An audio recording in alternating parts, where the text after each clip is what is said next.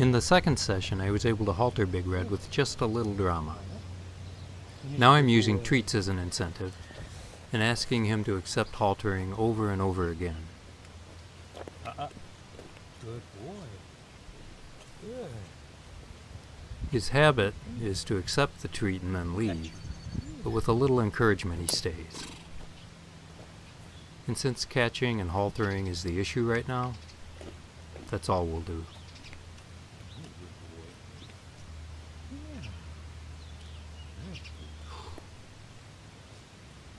He's a good boy. Yes. Oh.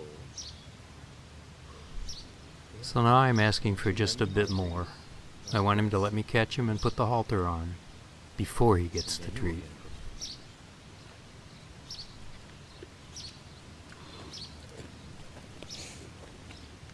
Hey, Red. How's he doing? Huh? Let me put this on. You good boy. Yeah. Just like so. And then I move to rubbing him a little bit before I remove the halter. Oh, there should be a lot of cookies.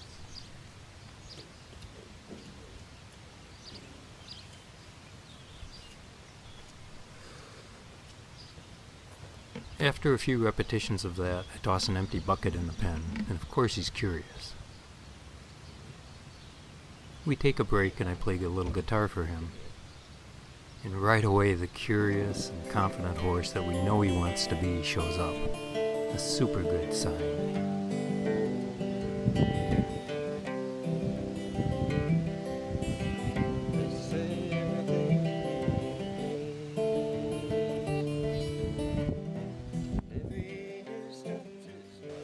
So I'd like to take a look at one way to think about what we're doing.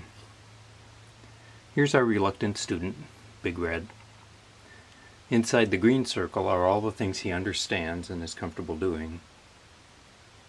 Inside the yellow circle are things he can kinda do or understand but may still be nervous about. And outside the yellow circle are things he just can't or won't do.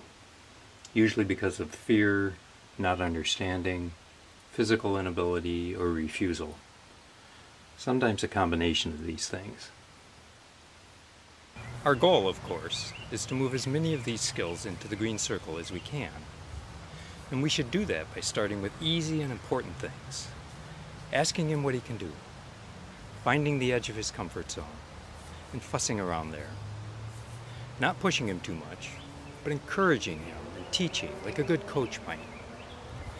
Through this process, we'll not only move more skills into his green comfort zone, we'll develop trust and communication, and he'll learn how to be in school.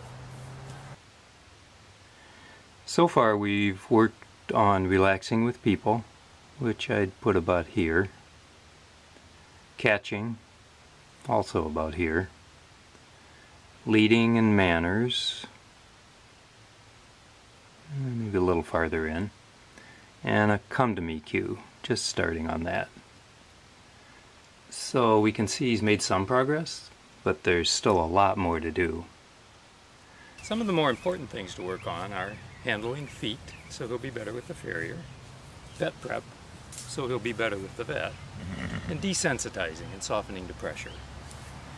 He's shown us he can make progress on these things. So it's just a matter of time and focus to get all these skills within his green comfort zone. Boy. After our break, we go back to haltering.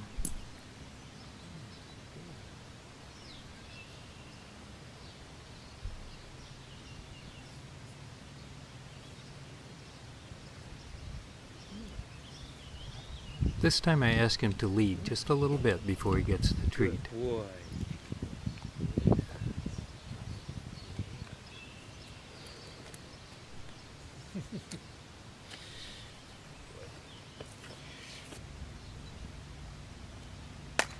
And next I add a come to me cue, a double clap of my hands.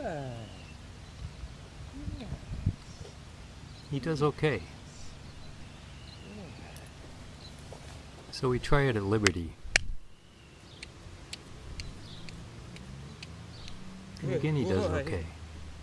Good boy. A great place to quit.